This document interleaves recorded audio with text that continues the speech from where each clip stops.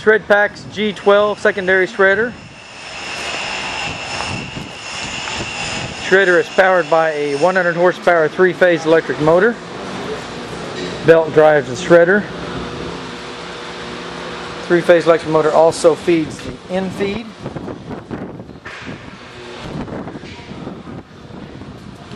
Discharge chute set up for a hopper or blower. This is a view of the hopper. It also has a feed roller, which is belt driven. Adjustable speed gearbox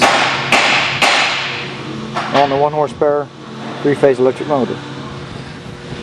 Designed for liberating fluff and wire from tire chips. We will demonstrate this machine with some tire chips. The roller.